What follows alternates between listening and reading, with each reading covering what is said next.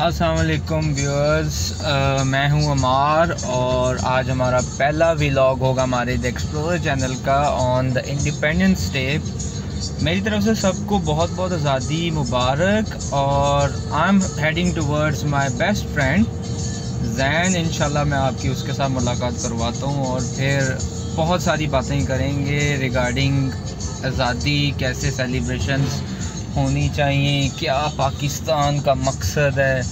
और क्या हम लोग एज अ ले मैन कॉमन मैन समझते हैं कि बहुत चीज़ें हमारी ठीक होने वाली और बहुत कुछ हम लोगों ने सेलिब्रेशंस नो डाउट हमारी बहुत बड़ी नेमत है और जैसे कि है कि मैं आपको अभी के अभी अपने फ्रेंड से मिलवाऊँगा और जैन अभी मुझे ज्वाइन करने लगा है। असलकुम जैन क्या हाल है? ठीक हो? आज़ादी मुबारक भाई आपको। आप सबको आज़ादी मुबारक मेरी तरफ़ से पूरे पाकिस्तान को आज़ादी मुबारक। सबको। सबको आज़ादी मुबारक। लो जी आज बहुत सारी बातें करेंगे इंशाल्लाह इकट्ठे। और कुछ अचीवमेंट्स जो मैंने आपको डिस्कस किया है कि पाकिस्तान की अचीवमेंट्स और पाकिस्तान से रिलेटेड बहुत सारी बातें हमने करनी है जो कि चेंजेस हमें रिक्वायर्ड हैं। रास्ते में जाते हुए ये एक लिवाइस की तरफ़ से हमें आज़ादी सेल ऑफ़र हो रही है जो 73 परसेंट ऑफ़ हमें दे रही है इंटायर स्टॉक पे। तो अभी हम चैनवन रोड पे हैं अब हम सूसा रोड की तरफ़ को जाएँगे दोस्त के घर। उससे पहले हमने रिफ्यूलिंग करवानी है। उससे पहले हम रिफ्यूलिंग करते हुए जाएँगे क्योंकि गाड़ी में ऑलमोस्ट पेट्रोल एम टी पे है। ठीक है इसको हम फुल करवाएँगे और फिर हम दोस्त की तरफ़ जाएँगे।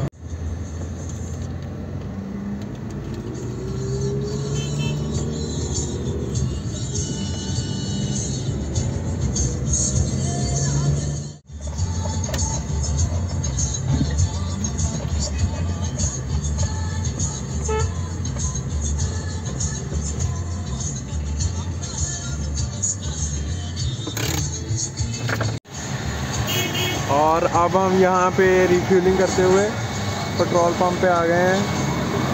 बाद रिफ्यूलिंग करके अब हम दोस्त की तरफ़ जाएँगे। लो जी फ्यूलिंग के दौरान थोड़ा सा वो इशू था, उसको सॉल्व किया हम लोगों ने तो अब वापस रवा दवा हम लोग उम्र की तरफ़। अच्छा अभी बात जोन सी हो रही थी, बात हो रही थी कि पाकिस्तानी प्रोडक्ट्स देखिए, आज़ादी के ऊपर मेरा ब्लॉग बनाने का मकसद ये है कि आज़ादी का असल मतलब हमें पता होना चाहिए। अभी हम लोग इकोनॉमिक क्राइसिस से गुजर रहे हैं बहुत ज़्यादा। इसकी वजह क्या? है उसकी वजह ये है कि हम लोग अपनी प्रोडक्ट्स पर रिलाई नहीं कर रहे। हमने इवन अगर एक साबन भी लेना है, एक सोप भी यूज़ करना है ना तो हम लोग शॉप से इम्पोर्टेड लेते हैं। पाकिस्तानी प्रोडक्ट्स नो डाउट हमें वहाँ, यहाँ पर कुछ क्वालिटी का इशू आ रहा है। लेकिन मसला क्या है? मसला ये है कि जब हम इम्पोर्टेड प्रोडक्ट लेते हैं तो 75 परसेंट उसका रेवेन्यू तो बाहर चला जाता है। और पीछे मुल्क को क्या बचता है? थर्टी परसेंट पाकिस्तानी प्रोडक्ट के अंदर आपको सेवेंटी क्या नाइन्टी परसेंट प्रोडक्ट जो सी है अब ये सामने आप आज़ादी मनाते हुए देख रहे हैं जी ये ये फ़र्क है पाकिस्तानी प्रोडक्ट में और बाहर के प्रोडक्ट में। ये आप पाकिस्तानी प्रोडक्ट देख सकते हैं कितना ख़राब तरीके से चलता जा रहा है।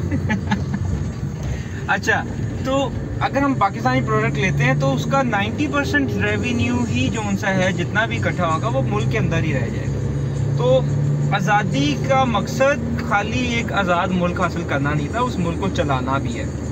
और चलाने के अंदर खाली हम लोग हकूमत को नहीं कहेंगे। हकूमत ने तो बहुत सारे कामों में वही काम करने हैं जो कि हम लोग ही कर रहे होंगे। अब हुकूमत तो नहीं ना कहती कि मैंने अगर साबन लेना है तो मैंने बाहर के मुल्क ही लेना है। मेरी डिमांड जाएगी तो बाहर से आएगा ना। पाकिस्तानी प्रोडक्ट को प्रमोट करो। नंबर वन आज़ादी का गोल ही ये है हमारा कि बहुत सारी चीज़ों को अगले साल के लिए हम लोगों को चेंज करना होगा। Number one promote your product कपड़ा मारा जाता है बाहर पूरी दुनिया पसंद करती है। इसी तरह दूसरी प्रोडक्ट्स को भी हमें इसी तरह प्रमोट करना होगा, उसकी क्वालिटी को इन्हांस करवाना होगा। सपोर्ट करें अपने यहाँ के लोकल इन्वेस्टर डॉक्टर उमर के घर अब हम आ गए हैं और इंतज़ार कर रहे हैं और गेट खोला है, लगता आगे। डॉक्टर साहब आ गए हैं। पीछे बैठेंगे डॉक्टर साहब हम बाहर बाहर चलते हैं डॉक्टर साहब से बाहर मुलाकात करते हैं। सर आपको बहुत बहुत आज़ादी मुबारक हो। डॉक्टर साहब क्या हाल है? सर ठीक ठाक। डॉक्टर साहब सर आप आए नहीं सर हम बस इसी तरह आए हैं। हम बाहर चलेंगे अब घूमे फिरेंगे थोड़ा सा कुछ और दोस्तों से मिलेंगे। जैसे कि यहाँ पर डॉक्टर साहब ये आज़ादी मुबारक हो रही है सबको। अच्छा डॉक्टर साहब क्या कहना चाहेंगे आज़ादी के बारे में? मुल्क हमें मिला। भाई जान पहली बात तो ये आप सबको मुबारक हो जश्न आज़ादी। सेकेंडली ये है कि मुल्क ने हमें बहुत कुछ दिया है। पाकिस्तान ना होता तो हम ना होते। क्या बात है डॉक्टर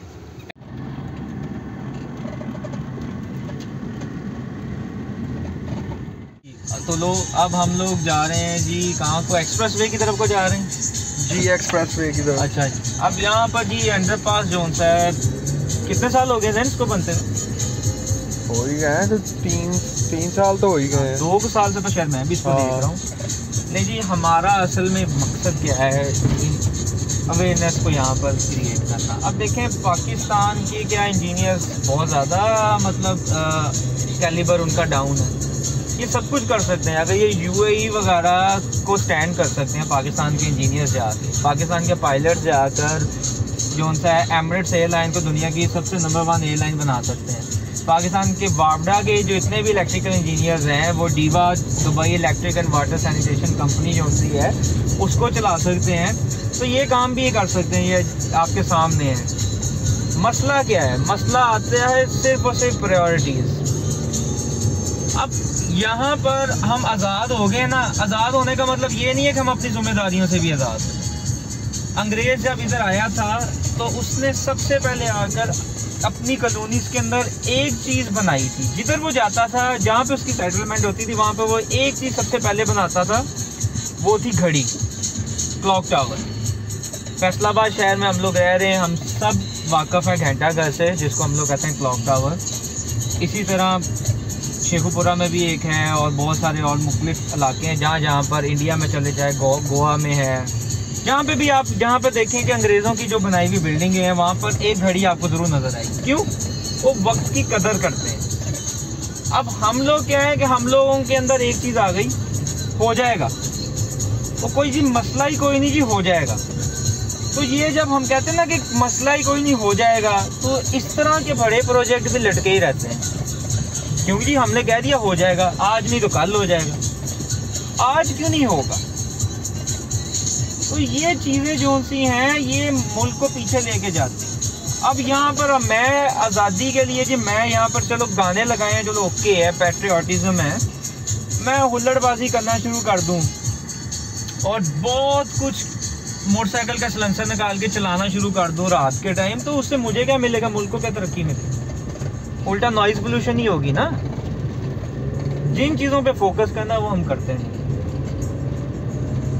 बस मेरी तो यही दुआ है कि हम अपनी जो सी जितनी भी प्रायोरिटीज़ हैं, जो हमें टास्क दिए गए हैं, हम उसको कंप्लीट करें।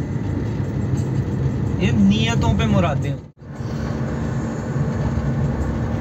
कनार रोड जो सी है जहन यहाँ पर याद होगा तुम्हें कि बचपन हम लोगों ने जब देखा तो हर तरफ़ दरख्त ही दरख्त हुआ। बिल्कुल ऐसे ही था। ऐसे हर तरफ़ दरख्त कोई घर नहीं कुछ नहीं सुनसान ये एरिया था। बिल्कुल ऐसे और मतलब इतना ज़्यादा यहाँ पर ग्रीनरी होने की वजह से मौसम जो सा था फैसलाबाद का इस एरिया के अंदर बड़ा अच्छा होता था। पिकनिक मनाने हम लोग घट वाले आया करते थे। बिल्कुल।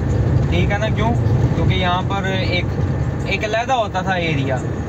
इंसान शहर से हट कर नॉइज़ पोल्यूशन नहीं था इधर। सुनसान था बेशक लेकिन नॉइज़ पोल्यूशन ना होने की वजह से और बाकी जहनी सुकून होता था लोग इधर आके अपना एंजॉय करते वीकेंड थे। एंजॉय करते होते थे आगे पार्क्स में जाते। थे दरख्त कट काट दिया हम लोगों ने। मतलब हमारी प्रायोरिटीज डिफरेंट हो गई ना। आज पा, आज पाकिस्तान जो सा सबसे ज़्यादा फ्लड्स को फेस कर रहा है। क्यों कर रहा है? इसी वजह से जी कि जहाँ पर जिसका दिल करता है अपनी मर्ज़ी करना शुरू कर देता है। किसी के घर के बाहर दरख्त है जी क्यों लगा हुआ है? ये मेरे घर के बाहर क्यों लगा हुआ इसको काट दिया। आपने रोड एक्सटेंड की है, आपने सारे के सारे दरख्त ये काट दिए, ठीक है? आज से पाँच छः साल पहले जब ये रोड बनी थी, सारे इस साइड के दरख्त काट दिए। उसके अलावा उसके अल्टरनेटिव में कहाँ पे लगाए? कहीं पर भी नहीं लगाए। अब उसका खमियाजा किसको भुगतना पड़ रहा है? हम सबको भुगतना पड़ रहा है। क्या हो रहा है? गर्मी बहुत हो गई है इस एरिया के अंदर। हम लोगों ने चार साल यहाँ पर यूनिवर्सिटी की हमने अपनी आँखों के सामने इस एरिए के अंदर गर्मी बढ़ते हुए देखा है, महसूस किया मुझे ना जैन भाई मैसेज आया है, कह रहा था ये दोस्ती है, उसने स्टेटस लगाए थे, और उसने कहा था जी कि उसकी तरफ़ से जी तमाम अहले वतन को आज़ादी मुबारक, लेकिन उसने कैटेगराइज किया है इन सबको। तो मुझे मुझसे रहा नहीं गया कि इसको मैं शामिल करना चाहता हूँ और उसके मैसेज को मैं सब तक फैलाना चाहता हूँ। वो आज़ादी मुबारक किन किन लोगों को कह रहा है? नहीं जी, आज़ादी मुबारक उसकी तरफ़ से उन तमाम देसी दवाइयों में स्टेरॉइड्स इस्तेमाल करने वाले हकीमों को उसने आज़ादी मुबारक की है। और उसने सिर्फ़ एक टांका लगाकर पूरी वायरिंग के पैसे लेने वाले इलेक्ट्रिशियंस को भी उसने आज़ादी मुबारक कही है। भाई, क्या बात है? ये शख्स तो काफ़ी मतलब रिसर्च करने वाला आदमी है। दो नंबर बोतलें बेचकर रहमत की बारिश मांगने वाली अवाम को जश्न आज़ादी मुबारक उसने कही है। ये क्या आप बता सकते हैं दो नंबर बोतलें कौन सी? जी दो नंबर बोतलें बेसिकली दोनों किस्म की बोतलें। दो नंबर में जैसे कि आपको कोक की बोतल आपको बहुत सारे प्लांट्स में फेक कोक फैंटा स्प्राइट नज़र आ रही दूसरी बोतल की बात तो नहीं है। नहीं नहीं वो नहीं है। बिल्कुल भी। क्योंकि वो तो आम तमाम जो उनसे ही नहीं कर पाते। अच्छा जी ताज़ा हलीम में मुर्दा मुर्गी का गोश्त डालने वाली आवाम को जश्न आज़ादी मुबारक। भाई क्या बात। मेरी तरफ़ से शवारवे में मुर्दा मुर्गी डालने वालों को भी हाँ मतलब जितने आज़ादी मुबारक। जितने भी मुर्दा मुर्गी डालने वाले लोग हैं उन सबको हमारी तरफ़ से आज़ादी मुबारक जी। अब हम भी अपनी तरफ़ से डालेंगे। अच्छा जी थोड़ा थोड़ा मिल्क शेक और ज़्यादा बर्फ़ डालने वाले जूस कार्नर मालिकान को भी आज़ादी मुबारक जैन साहब। ऐसे ही है। तो ज़्यादा बर्फ़ डाल के थोड़ा सा लेमन सोडा बनाने वाले को भी आज़ादी आज़ादी मुबारक। मुबारक। अच्छा जी जान बचाने वाली दवाइयों में भी दो नंबरी करने वाली कंपनियों को आज़ादी मुबारक। ये तो जी बड़े माफिया हैं। इन सबको आज़ादी मुबारक दोनों हाथों से आज़ादी मुबारक। और आगे आगे साफ़ ताज़ा फल रख कर पीछे ख़राब फल डालकर उन तमाम फल फरोशों को आज़ादी मुबारक। ये साहब की तरफ़ से है। और सबसे जो लास्ट में ना मेरा फेवरेट है। वो कौन सा है भाई? गैस का आ, ये हो सकता है कि बीमारी का बहाना करके काम से छुट्टी लेने वालों को भी जाती मुबारक भाई ये तो क्या बात है। ये इसके ऊपर डिस्कशन करते हैं अभी कि मेहनती कौमों के ऊपर मैं दो को दिन पहले देख रहा था लेकिन तूने बीमारी का नाम लिया तो बिल्कुल उससे रिलेटेड ही है। गैस तेरा बड़ा अच्छा है। हस्पताल में मरीज़ की दमादारी पर जाकर चाय पानी ना पूछने पर नाराज़ होने वाली अवाम को आज़ादी मुबारक। वही चीता साबित हुआ वो नहीं शख्स। एक पोस्ट के कोरोना के मरीज़ को देखने गया तो उन्होंने उसका वेंटिलेटर का स्विच निकाल के अपने लिए कूलर ऑन कर लिया मरीज़ वहाँ पे जहाँ पर। हाँ जी तो ऐसे ही है ना। तो ये हमारी आवाम के अंदर एक बहुत बड़ा एक एलिमेंट पाया जाता है। मैं मैं मैं वाला और शिकायत शिकवों वाला। कि जी एक शख्स है ना रिश्तेदारियों में तो उस बेचारे को वो मर भी रहा हो ना तो वो उस बेचारे को ये नहीं देखना कि वो मर रहा है। उस बेचारे के मरने के दौरान भी चार पाँच उसके नुक्स और उसकी जो अ, उनके साथ बिहेवियर है ना कि यार वो मरदे ने भी पानी नहीं पूछे सन। कह- कहता नहीं पंजाबी में ऐसा मरदा भी पानी नहीं पूछता। बिल्कुल। तो वो ये इस तरह की आवाम की नेचर हमारी पाई जाती है। यहाँ पर एक्सप्रेस वे कितनी साफ़ लग रही है? अच्छे प्रोजेक्ट हैं, पिछली गवर्नमेंट के भी कुछ। ये काफ़ी अच्छा था कि शहर को डायरेक्टली लिंक करवाना मोटरवे के साथ। यार, बात ये है कि सफ़ाई अब तुम्हारे सामने यहाँ पर, इसको साफ़ रखना किसने, हमने रखना अब आपके नॉर्दर्न एरियाज़ इतने ज़बरदस्त हैं ना वहाँ पर। वहाँ पर आपके कितने भी, जितने भी टूरिस्ट गए हैं, जो कि अब्रॉड से गए हैं, उन सबने तारीफ़ की है। सिर्फ़ एक चीज़ जो कि जिनको सबने हाईलाइट किया। वो किया कि, वो कहते हैं कि आप खुद तो जाते हो, लेकिन प्लीज़ अपनी बिलोंगिंग्स ना वहाँ पे छोड़ कर आया करो। मैं एक ऐसे ही एक ट्रैवल कोई पेज देख रहा था तो उसके ऊपर वहाँ पर उसने बड़ा अच्छा मेंशन किया हुआ था। वो एक लेडी थी, उसका मुझे नाम भूल गया। उसने कहा था कि please take back your belongings while you are travelling और ये हकीकत है। हमारे पाकिस्तान के अंदर जितनी खूबसूरती अल्लाह ताला ने दी हुई है उसको प्रिजर्व भी हम लोगों ने ही करना ना। इधर एक बात है बड़ी हैरानगी की है कि कोई लेडी थी और आप उसका नाम भूल गए। ये कैसे हो सकता है? यार नहीं भूलने से स्किप कर जाता है इंसान। लेडी है अब लेडी क्या है? या नाम नहीं उसका स्किप हो सकता? है मतलब आपके जहन से हो गया ये तो हैरानगी की बात थी मेरे लिए। तो आज की शॉकिंग बातें थी एक वो एक्सीडेंट और एक ये वाली बात। हाँ, कि आप लेडी का नाम भूल गए। बस यार ये सारी चीज़ें होती हैं। अच्छा तो नेक्स्ट एक चीज़ जो कि मैं कहना चाहूँगा यार वो है ईमानदारी। ये अभी हम लोगों ने बातें शेयर की ना कि वो साहब ने सबको आज़ादी मुबारक कहा जो कि बहुत ज़्यादा मतलब मिलावट करते हैं। अब मिलावट से ज़्यादा है दूध देख लो। उधर हमारा लीडर कहता है जी कि हम लोगों की स्टंटेड ग्रोथ है जी। और स्टंटेड ग्रोथ का मतलब कि जी हमारे बच्चे जो उनसे हैं उनके काफ़ी छोटे रह गए हैं। बिल्कुल। ठीक है ना? और जबकि हमारे पहले के लोग जो होते थे अगर हम अपने इंसेस्टर्स को देखें बाजदाद को तो उनके माशाल्लाह छः छः फुट का और ये वो ऐसा सारा। तो ये सारा दूध की मिलावट है। दूध में मिलावट की ना? क्या करते हैं? खालिश दूध जो सा है वो आपका जनाब महँगा है। एक सौ दस रुपये लीटर या किलो के हिसाब से बेचते हैं हमारे। ये सामने अभी आप साहब ने जो सा है ना अभी खाया है और खा के जी इन्होंने छली आवाम को दिखाया है खास तौर पे पीछे वालों को कि मैंने छली खा कर फेंकी है। और साइड पे फेंकी है? मतलब यही है ना। तो मेरी बात अब टोटली चेंज हो गई। इसी तरह मैकडोनल्ड्स अक्सर आप लोग जब ड्राइव थ्रू के पास से गुजर रहे हो ना तो वहाँ पर माशाल्लाह हमारी आवाम दूसरे को दिखाती है कि मैंने मैकडोनल्ड्स की ये फलाना डील ली है और आप ऐसे उनके पीछे गाड़ी लगा कर देखो, कोई भी गाड़ी ड्राइव थ्रू से निकले तो थोड़ी देर उसके पीछे गाड़ी लगा के आप चेक करना। अगर ना आपके सामने वो मैकडोनल्ड्स का पूरा का पूरा खाली बैग जो है, वो फेंक दे तो मुझे आप जो कहेंगे कि मैं एक्सेप्ट आप मुझे ये बताएँ कि वो जो बैग खाली होता है या आपको ऐसे पता वो खाली फेंकते हैं? खाली है। खाली बैग होता है ना यार। बैग खाली होता है। तो कहने का मकसद ये है कि हमने आवाम को दिखाना है भाई कि हमने खाया पिया और गाड़ी से बाहर फेंक दिया। गाड़ी साफ़ नहीं गाड़ी साफ़ रखनी है अपनी। क्यों? गाड़ी मेरी प्रॉपर्टी है ना। और मैंने उसको गंदा नहीं करना।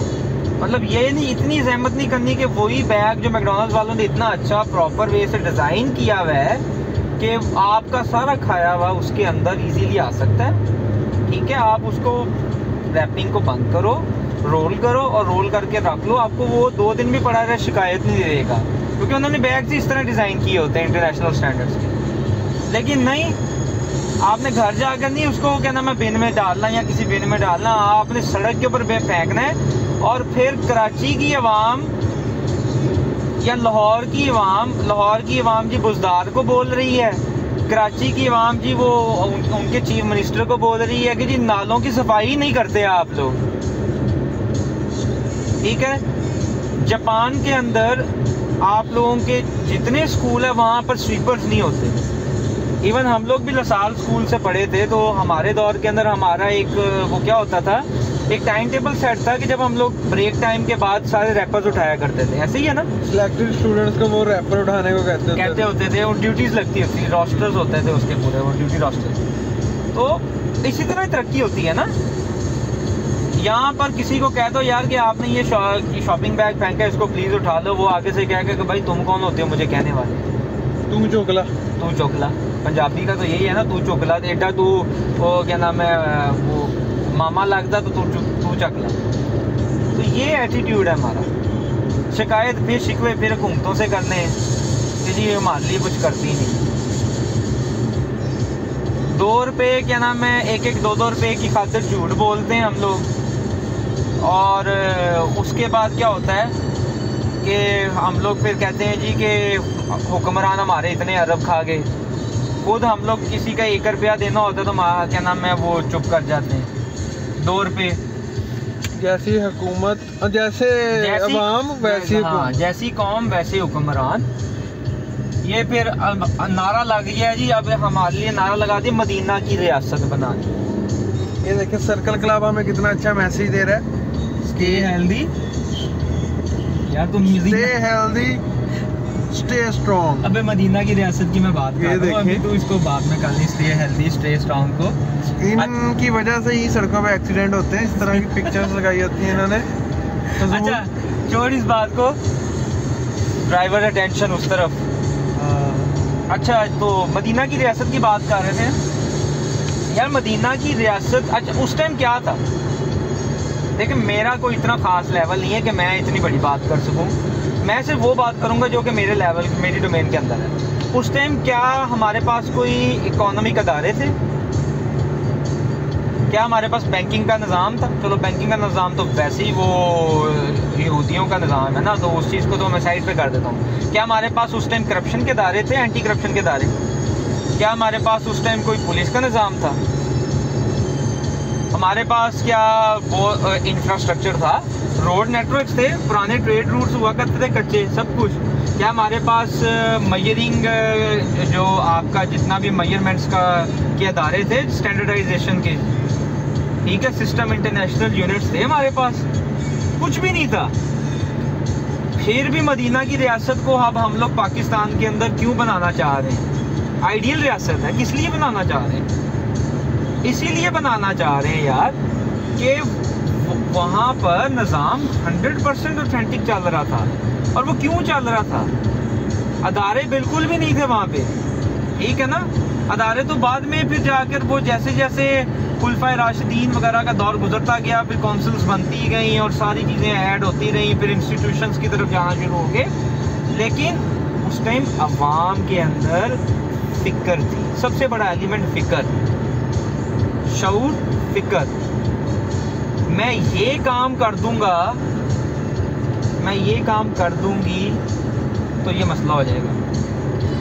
मैं किसी के उधार पैसे अगर टाइम पे ना दूँगा तो कल को मुझे मौत आ जाएगी तो फिर ये मसला हो सकता ठीक है? किसी के साथ लेन देन करने के अंदर बिल्कुल बराबरी रखी जाती थी। मतलब हर चीज़ का शौर हुआ करता था। लोगों के भूख दिए जाते थे। एक साथ ही लोग रहते थे ना। वो सारी चीज़ें जी, फिर भी हम लोग यहाँ पर इतना इंस्टीट्यूट्स होने के बावजूद हमारे अंदर क्या है, हमारे अंदर बेसिकली फ़िक्र ख़त्म हो गई। है कल की फ़िक्र ख़त्म हो गई हमारे अंदर। तो ये चीज़ें जो सी हैं, हमें आज़ादी तो अब हम लोग क्या नाम है, हासिल करके बैठ गए, घरों में बैठ गए, आज बाजे बजाएँगे, कल इंडिया वाले बाजे बजाएँगे। ठीक है, आज इंडिया वाले हमें कोस रहे हैं जी कि तुम लोग आज़ाद हो गए, तुम लोगों का हक ही नहीं था पाकिस्तान बनाना। ठीक है।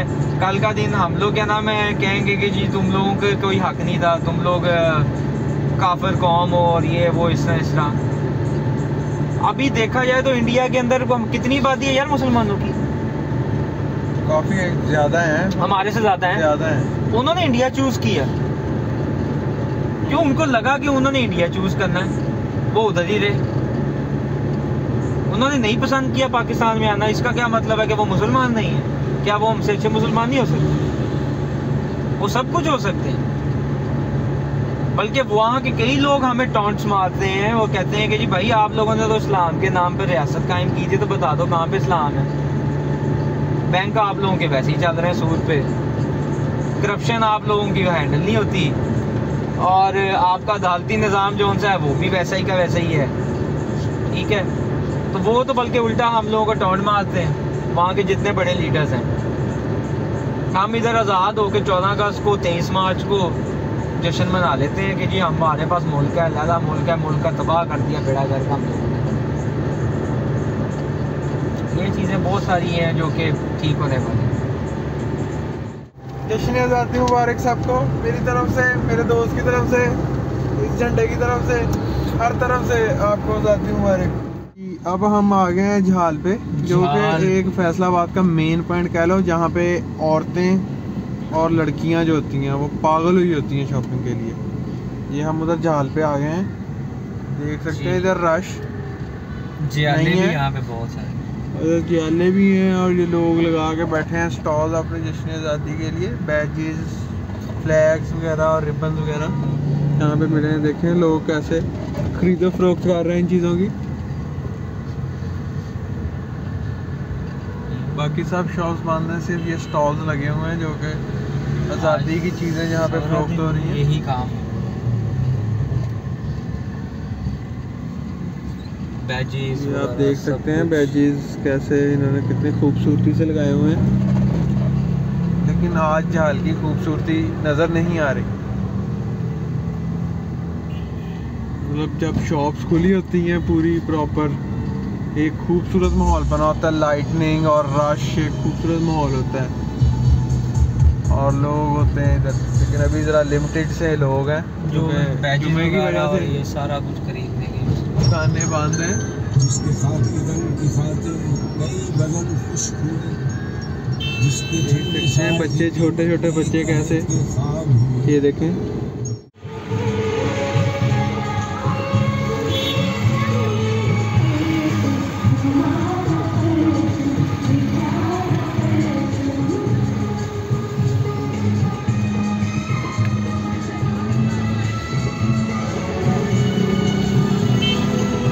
फैसलाबाद की जान फैसलाबाद का सबसे पुराना फिरने का पॉइंट कौन सा है जी ये?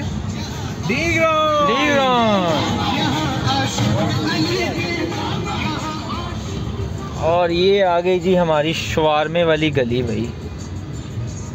यहाँ पर शवारमे बहुत सारे बिकते हैं।